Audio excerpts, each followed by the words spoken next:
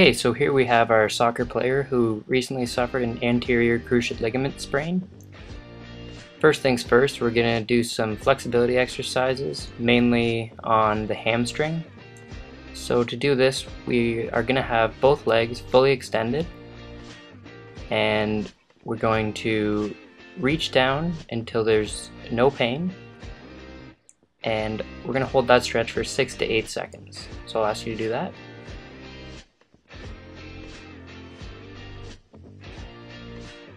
Now once that that's complete, you can reach a little bit further until you feel the pain. Once you get to that point, I want you to relax a little bit and then hold it just before the pain for 30 seconds.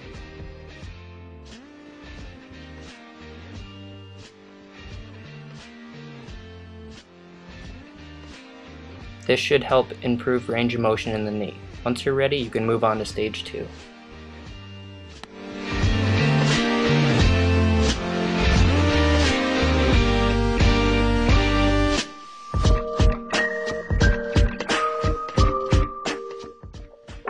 Here we are with our soccer player again, and once you feel comfortable doing stage 1 without pain, you can feel free to move on to stage 2.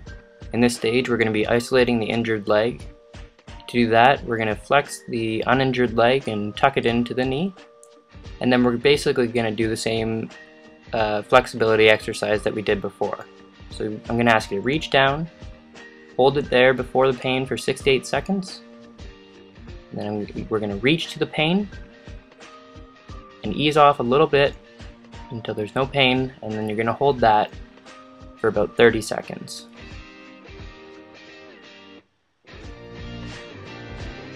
Our goal here is to go as far as we can to our end range without feeling any pain.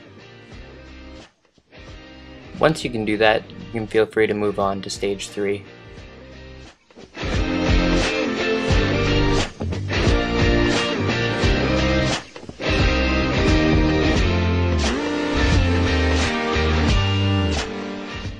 Now that you feel comfortable with stage 1 and 2 of the hamstring stretching, we're going to work into the third stage here in which we're going to use a band around the foot to help you move your leg. It's important that you're able to move your leg at this point before you try the exercise. So what we're going to do is we're going to wrap the band around the foot and this is going to take a little bit of strain off both the anterior muscles and the knee. And then we're going to lift it up and hold it before the pain for 6 to 8 seconds. Once we do that, we're going to go a little bit farther until we feel that pain. But we don't want to hold it there. We're going to ease off of the pain a little bit and hold it at that end range before the pain for another 30 seconds like we did before.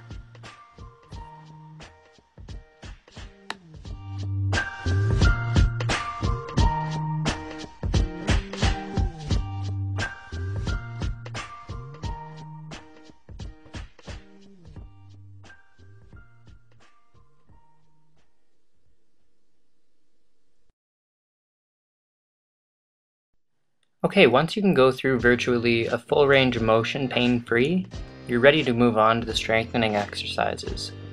First off, we're going to start with an exercise on a rowing machine. You can find this usually at your local gym. So we'll start off just by going back and forth. Try not to go past 90 degrees just yet with your knees. And we're not going to be using the weight restriction just yet.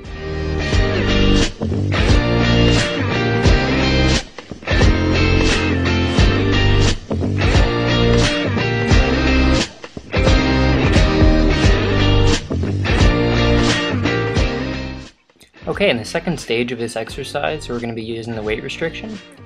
Do this once you feel comfortable in this machine, uh, because it can be strenuous on the knee, but as long as you're ready for it, it's a great exercise for the knee. So you're just going to grab the handle and go back and forth, still not trying to go too far past 90. If this exercise becomes too easy for you, you can always do it with just your injured limb. That way you can ensure that the injured leg is getting all the benefits that it needs. Try starting with a low resistance and you can work your way up from there.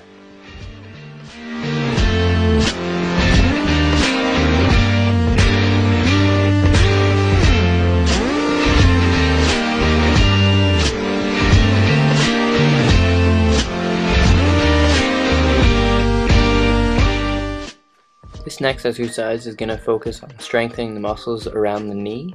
To do this, we're just going to lift up the leg with an ankle weight surrounding it and just go flexion to about just before 90 degrees. This will help regain muscle around the knee and will, it will also help with balance.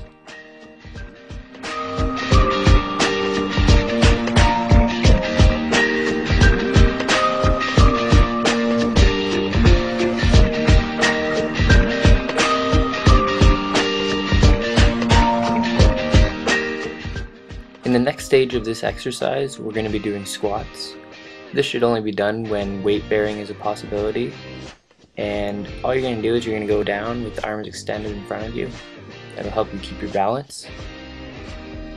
Again, in this exercise, we don't want to be going past 90 degrees. So we're going to stop at about 85 degrees. And once you feel comfortable, you can go a little bit lower, but we're still trying to take a little bit of the strain off the ACL in this exercise. When you feel comfortable, you can try doing this with only your injured leg.